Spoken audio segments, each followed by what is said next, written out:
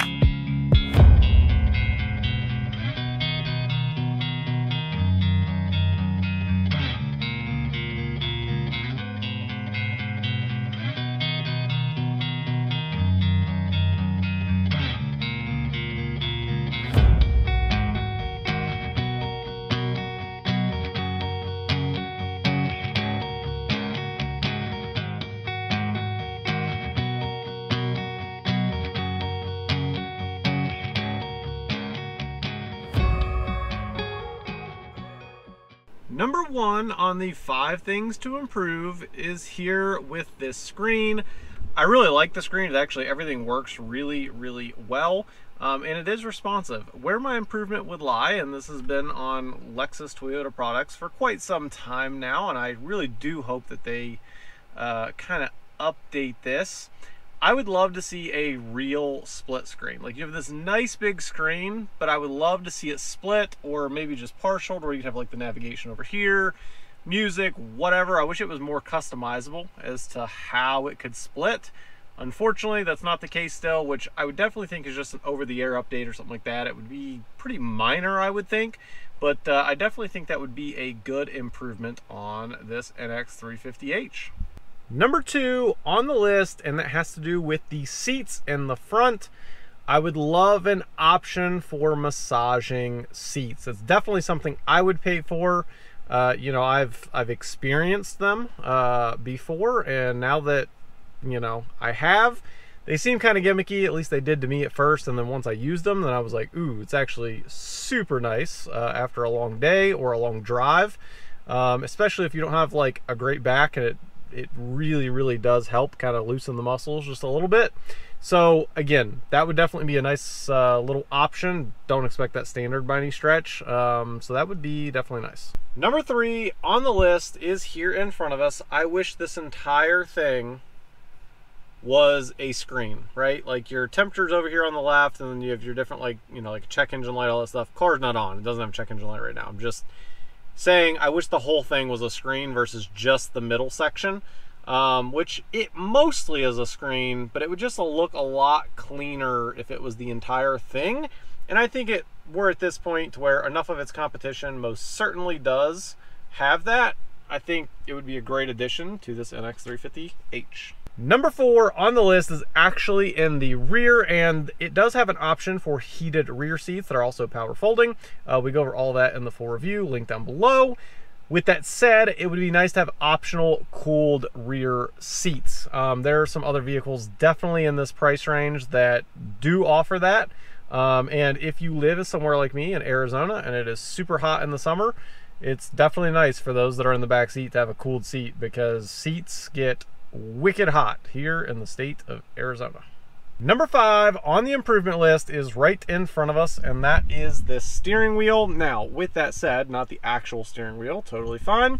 As you can see, uh, if you're used to an older layout, or actually even majority of all vehicles still, you have one cruise control button here, which is basically your on and off. But generally you have like your plus, minus, you have your uh, resume, cancel, uh, all of those sort of buttons. You also usually have a button on the steering wheel when there's adaptive for your actual adaptive settings. Um, none of that here. Uh, you have your lane centering and then you have literally, you know, your on and off basically is what it is. So you use these buttons for cruise control, but it's out with the heads up display. So I don't know if you can see me kind of moving this around, different buttons, whatever. I, I definitely wish there were still buttons. Um, you know, I, I'm all, I, am not trying to be uh, stuck in my ways or anything like that. It's just there's certain scenarios. The, the heads up display is great. I absolutely love the heads up display. And we're going to get to all the technology in this vehicle because, again, overall, I love this vehicle. It's definitely actually a contender for my wife's next vehicle. Uh, maybe. It's definitely probably top five on the list for me, just with our personalities and what we have in our life. Long story short, I just wish that there were buttons there. Um, there's certain lightings to where the heads-up display, it's kind of hard to see. It's a little bit of a distraction because you're trying to figure out what I, where I want my cruise control. If you have a button, it's there. It's much easier. You don't have to worry about heads-up display. Again, not a big deal, but it's definitely something I would love to see the buttons come back to the steering wheel for sure. Moving on to the five things to love. Number one on the list is the exterior looks. And I'll put up a drone footage here. It just looks good. Like, I think for an SUV, I think it looks really, really good. I mean, everyone's going to be have an opinion on color, right? Like, you got to get past the, the color, whether this is your color or not your color. You can get it in all the different color options out there, and I'm sure there's something that you like. So, from a design standpoint, though, I think it looks really good. Number two on the list, and I kind of talked about this that we were going to get to it, and that is all of the technology and the features. So you've got heated seats, you've got cooled seats, you have lane centering, you have adaptive cruise control, uh, you've got a wireless phone pad charger, uh, you have, well, up here, obviously, you have your camera, which you can turn off if you'd like for your rear view.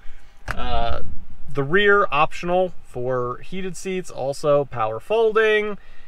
There's a lot on this vehicle and to have all of those features, super nice. Also one very quickly not to forget, optional of course, panoramic view monitoring, which is basically your 360 camera. Also, very nice to have. Number three on the list is ride quality. If you have watched my full review, you know I'm a huge fan of Lexus ride quality. Now, if you don't go drive one, you're never going to truly understand how good it is. Like, it'll put it into perspective. It, it really, really will. Anybody will be able to tell the difference. Now, if you only drive a Lexus and you don't drive anything else, you think probably it's just average if you go drive anything else and then you drive this, then you're going to definitely understand and respect the ride quality that Lexus offers in majority of their vehicles. And this one definitely is within the normal Lexus lineup for having great ride quality. Number four is gas mileage. Um, and then also we're going to go ahead and talk about number five because they kind of go together, but they had to be separate, and that is all-wheel drive. So the fact that this is all-wheel drive, it's an SUV, and it still does 0 to 60 in 7.2 seconds. It's all impressive, right? Like I love having all-wheel drive because it doesn't matter the weather, snow, rain, whatever. You're planted, you're good to go. Like you don't have to really worry about it and you can get good gas mileage. Like you're literally at near and around 40 mpgs in this. Like that is so impressive, honestly. It really, really is. It's a great combination. It's a good middle ground for everything. So hopefully you guys enjoyed today's video. If there's anything I'm missing, just comment down below. Because of course, I only spend a week with these vehicles. Some of you owners know even more than what I do. Um, so with that said, please comment down below. Happy to hear what you guys have to say. For everything else, be sure to subscribe. We're almost to 20,000 subscribers. And as always, I'll catch you guys on the next one. Peace.